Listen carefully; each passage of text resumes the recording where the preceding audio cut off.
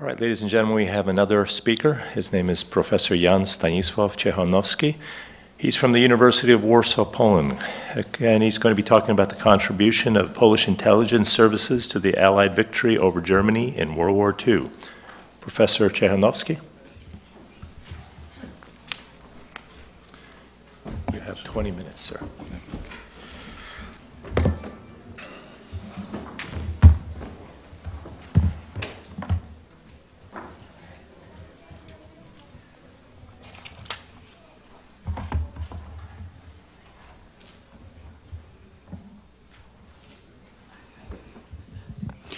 Thank you, Mr. Chairman.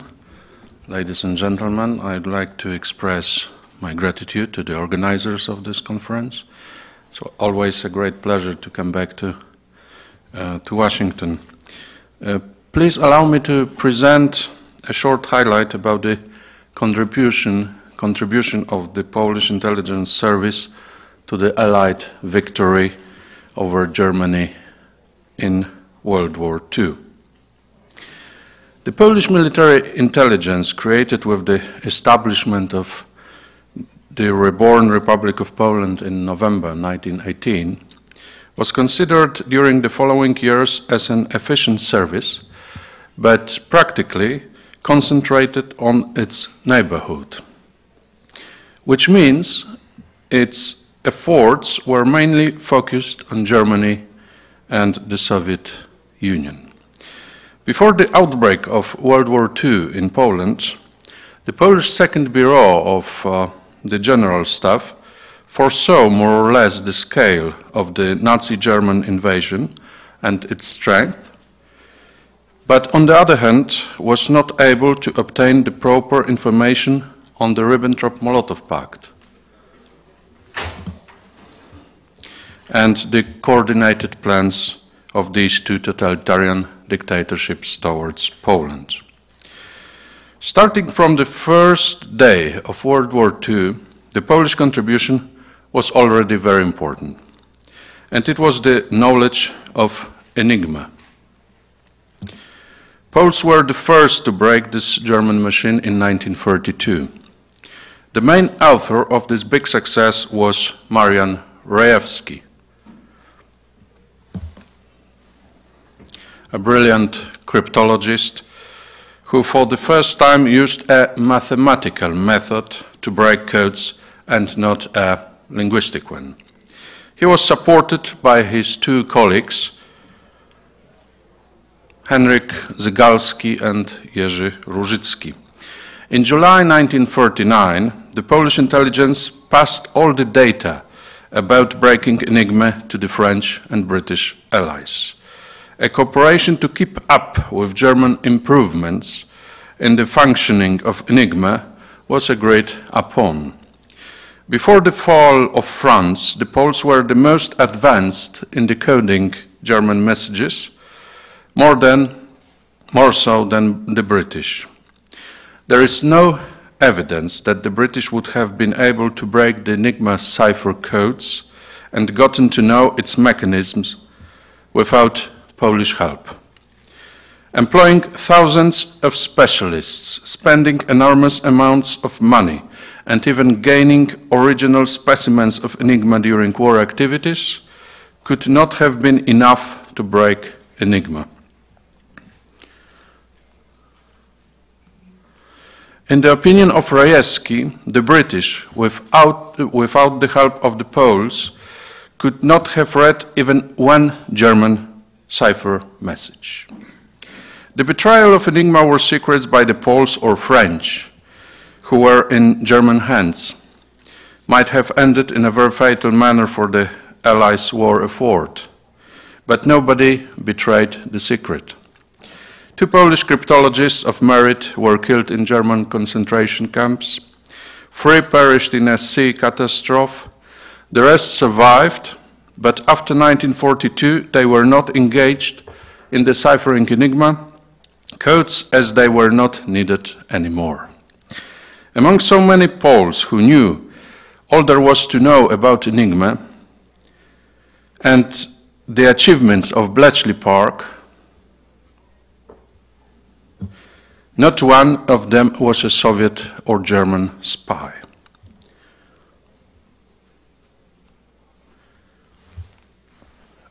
Yet a film from 2001 called Enigma, directed by Michael Apted and based on the novel by Robert Harris, depicted a fictitious Polish traitor who attempted to betray Enigma secrets to the Germans as an act of revenge for the silencing that the Soviets perpetrated the Katyn massacre.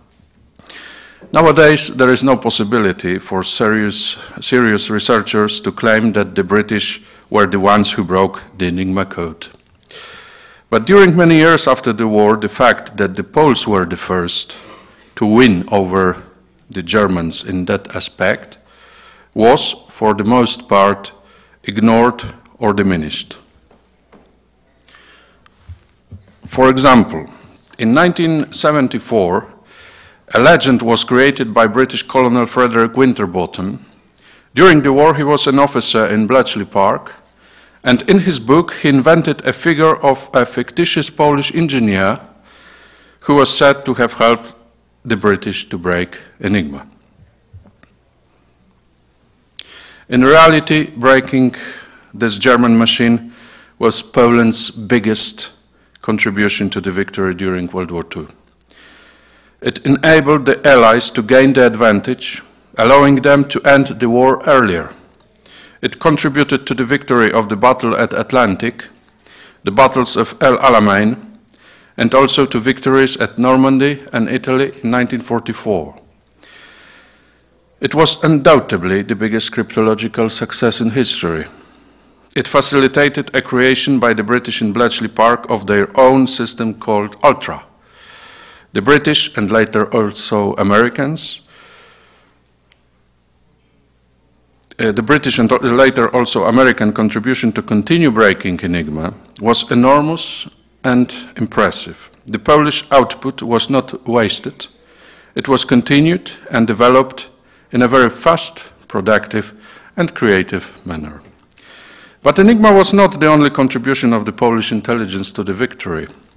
In September 1940, sometime after the collapse of France, an official cooperation between the British Secret Intelligence Service, SIS or MI6, and the Polish Second Bureau was established. An agreement was signed as the Polish government in exile in London possessed a special status with a right to maintain an independent intelligence service until 1944 uncensored radio communications. Poles agreed to pass all secret data with the exception of information concerning internal Polish issues. In return for that, the Second Bureau was to receive from the British General Analysis of Information. The Polish Secret Service was working first of all for the British war effort and was financed by British authorities.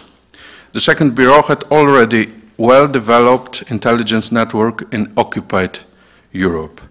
But in point of fact, the strength of the Polish service was that in a very short time during the war, it could have expanded very well its activities almost worldwide, due in great part to its improved methods of operating created before the conflict.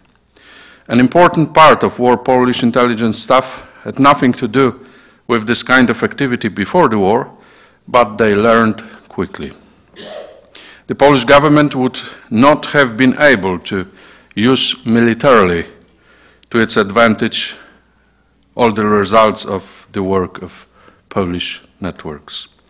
According to the needs of the British and later American allies, the Polish military intelligence was delivering messages from Europe, including Germany or France, North Africa, the Far and Middle East, North and South America, and even from the Philippines.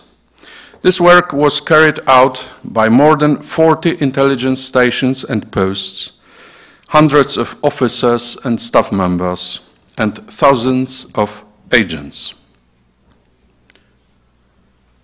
The number of Polish intelligence reports given to SIS increased systematically. Between uh, 1940 and 44, the British were given more than 32,000 intelligence reports, more than 4,000 counterintelligence reports, more than 4,000 messages from the disinformation action, and more than 35,000 radio intelligence intercepted and read German messages. The majority of the Second Bureau posts were receiving excellent evaluation reports, especially in Europe and French North Africa. We have here the statistics. As we can see, 8% excellent, report 70% very valuable. Sometimes the only concrete information available was from Polish sources. Long delays in getting those reports to London from occupied Europe, especially from the Eastern Front, were a frequent hardship. Colonel Stanisław Gano, chief of the Polish Second Bureau, stated that the Polish contribution was 70%, 70% of the Allies' intelligence effort. After the war, this number was confirmed by officers of Special Operations Executive, SOE. Probably the best intelligence station of the Second Bureau was one called Africa, created on British request in July 1941, whose location was in Alger. The SIS stated that they had not been able to quickly create an efficient intelligence post there. The station was led by Major Mieczysław Słowikowski, who cooperated closely with, uh, American, with the American diplomat Robert Murphy and his staff, composed of vice consuls who worked for the American Secret Services. Słowikowski was passing reports to the American consulate. In return, the Polish officer was able to send written messages by American diplomatic back. In the opinion of British historian Stephen Dorril, the Africa Post was the widest and the best Allied intelligence network under the rule of the Vichy government in French Western Africa. There is no doubt that in 1941 and 42, the Africa Post played a leading role in delivering information for planning the Allied invasion on of North Africa, Operation Torch, which was silenced many years after the war and still in many elaborations the paper of Słowikowski's network is not emphasized enough. Air Force Captain Roman Czerniawski played a special role, trying to be an intelligence officer during the conflict. In Paris, uh, he headed one of the most efficient networks in France, but in 1941 he was arrested by the Germans. He apparently agreed to collaborate with Abwehr, and after Ger the German simulation of his escape, he came to Great Britain where he revealed all the circumstances of the case. Czerniawski served later as an apparent uh, double agent under the name of Brutus. He played a very important role in a so-called double-cross system of deception and misinformation given to the German intelligence before the invasion of Normandy. He helped to convince Abwehr that landing there would only be, be a diversion and that the main forces would attack Pas-de-Calais and Dunkirk. According to British intelligence, the role of Brutus was, I quote, almost impossible to be overestimated. End of quote. In the same way, he helped to fool Germans about the results of bombing London with V1 and V2 weapons. He deceived the enemies by telling them that uh, telling them they were bombing the suburbs of London when they were actually bombing the center of the city. The Germans changed strategy, causing the center of the British capital to be far less destroyed. I could continue with a long list of uh, Polish intelligence achievements from all over the world, but there is no time, so just a few words, a few words about the most outstanding results. Uh, This is V1, V2. Here we have uh, Major Michał Rybikowski, who played an ingenious intelligence game against Germans in Stockholm. Heinrich Himmler stated that he was the most dangerous officer of the Polish intelligence.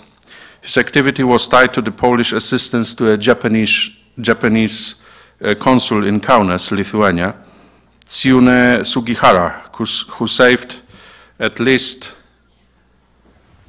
2,139 Polish and Lithuanian citizens of Jewish na nationality or origin by handing them transit visas. A large amount of these visas were falsified by the Vilnius Polish Union for Armed Struggle, a predecessor of Armia Krajowa, the Home Army. Another hero was Lieutenant Colonel uh, Jan Kowalewski, one of the most outstanding Polish officers, who headed an important intelligence post uh, in Lisbon.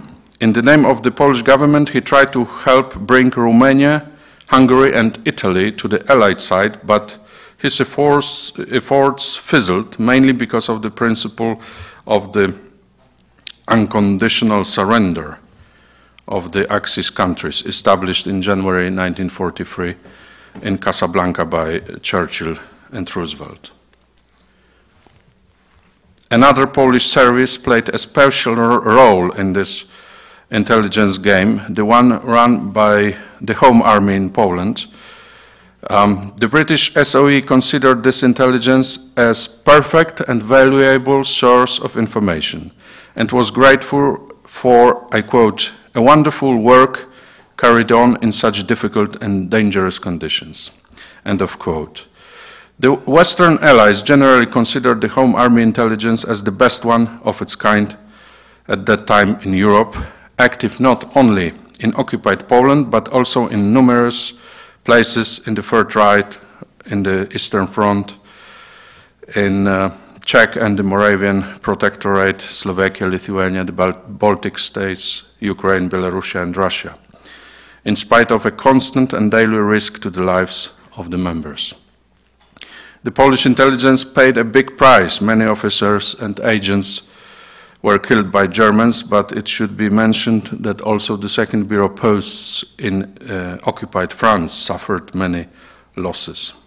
The Home Army Intelligence Service delivered crucial information about the German order of battle, military operations, data from observation at ports, morale, results of bombings, and the situation in occupied Poland and other countries.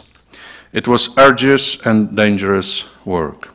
There, was, there were also spectacular successes like obtaining details about plans to attack France and later the Soviet Union, plans of new types of uh, German submarines, U-boats, armored units, and most importantly, informations, information plans and pieces of deadly German V1 and V2 weapons. Also very important information was passed on by the Poles about the existence of gas chambers used by Germans to assassinate millions of Jews but also Poles and representatives of other nations, reports which were considered to be an exaggeration. For example, by the chief of the British Joint Intelligence Com uh, Committee, William Cavendish Bentinck. Finally, a few words on a not widely known intelligence co collaboration between American and Polish secret services. The first step to establishing cooperation was the first visit of General Władysław Sikorski, Polish Prime Minister and Commander-in-Chief, to the United States in March and April of 1941. Uh, As a result, Major Jan Henryk Żychoń, Chief of the Polish Intelligence Department of the Second Bureau, came to the US and had talks with Colonel, later Brigadier General William Donovan, who as coordinator of information was given the task to construct an efficient system of intelligence um, of American intelligence, similar to European ones. In September, both officers signed a confidential agreement on the intelligence cooperation. A regular exchange of documents and information concerning subjects crucial for the war effort and the creation of the so-called STZ Polish intelligence post in New York was agreed upon. In the following month, the Poles began to deliver to the Americans very comprehensive materials, which from the beginning were evaluated very highly. The Polish government wanted to obtain technical, uh, technical support, especially in communications, in various parts of the world, and first of political benefits. A turning point for the development of the Polish-American intelligence cooperation was, of course, the Pearl Harbor attack. From 1942, intelligence reports for Donovan were being passed, passed through a liaison office in New York, led by Allen Dulles, later famous for being the director of uh, the CIA. The Polish reports were delivered to various American intelligence agencies. Office of Strategic Services, created as Donovan's new intelligence body, Military Intelligence Division, G2, Naval, Naval Intelligence, and also the FBI. Um, in uh, winter 1941, Major Żychoń wrote in English a special project of an efficient American secret service. It's a document of 48 pages with detailed suggestions. It seems obvious that the Americans asked Żychoń to prepare such a paper. Generally, the Polish officers were instructing their American partners at their request on the organization and methods of using information, what is today difficult to imagine, but it happened. In the beginning, the Poles considered American officers as very keen amateurs, and various sections of analysis branches of the OSS and G2 as weak ones, because of, um, of some defects in the evaluations of the material received. Later, the, these same Polish officers noticed an increased development of these uh, services. I must, do, I must conclude, so um, just few opinions about, about the Polish intelligence service. Uh, Colonel I, Ivan Yeaton, a chief of the Eastern European section of G2. I quote, the Polish Second Bureau passing valuable and actual information contributes in a considerable manner to strengthen the position of uh, American General Staff. William Donovan, I quote, the reports of the Polish Intelligence Bureau present uh, uh present to the American General Staff an extraordinary value. They belong to the most important contributions received by the General uh, Staff. Hayes Kroner, Assistant Chief of the Military Intelligence Division, expressed to General Sikorski his particular uh, appreciation for the Polish intelligence work, saying, I quote, the Polish army has the best intelligence all over the world. Its value for us is priceless. Unfortunately, in return, we can give little. End of quote. Um, just I will pass. These opinions uh, were shared also by, by, the, by the British at, at the end of the World War II. Commander Wilfred Dunderdale, chief of a special SIS liaison officer for contacts with Poles, in his summary report presented to Prime Minister Churchill, concluded stating that, I quote, Polish agents worked unceasingly and well in Europe during the last five years, and they provided, often at great danger to themselves and to their relatives, a vast amount of material of all kinds on a wide variety of subjects. The Polish intelligence service make, made an invaluable contribution to the planning and the successful execution of the invasion of Europe and to the ultimate victory of the Allied forces in Europe. End of quote. After the war, the uh, Sir John Colville, uh, British Prime Minister Churchill's secretary, wrote that the Poles were probably the best players in that game. The Poles were generally more modest. The last chief of the Polish intelligence, Lieutenant Colonel Witold Langenfeld, wrote, I quote, the Polish contribution in the overall intelligence is enormous. I don't want to say that we were the best intelligence service. However, we belonged to the world's top intelligence services. End of the quote. Why so? Uh, why for so many years was there so little information on Polish achievements in, in the intelligence war during the world conflict? First of all, Poland uh, was not independent, and normally secret services are not eager to reveal their secrets. Some officers and agents participated in the Cold War. But there was also another reason. In 1945 and 46, uh, a documentation of the Polish um, intelligence service during the war was given by deposit to the British. And the Polish side um, began official efforts for the return of the Second Bureau documentation in 1999 when the Polish State Archives received from the British Cabinet Office an answer that these documents were destroyed because they were considered of ephemeral value. This caused quite a heated uh, reaction in Poland and among Poles, the Poles abroad. Prime Minister Buzek uh, inquired Prime Minister Tony Blair of the whereabouts of these papers. In 2000, this initiative brought a Polish-British Historical Committee to uh, creation. The result was a very wide research in many countries, also in the US National Archives in College Park, Maryland, and also two volumes of a publication, publication about the Polish intelligence contribution to World War uh, II. Uh, the activity of this body should not be should be considered as just the beginning. There is still a lot of research to conduct.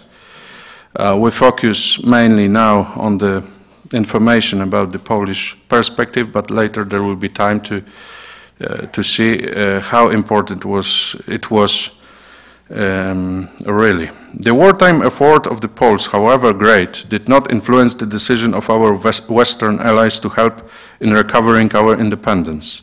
Poland didn't have an army strong enough, in spite of a relatively big contribution on the battlefields and an excellent intelligence service, to assure the victory over all the enemies of our independence. There is absolutely no doubt that the intelligence service of wartime Free Poland, with a global character during the conflict, contributed in the Allied victory over Germany. Thank you very much.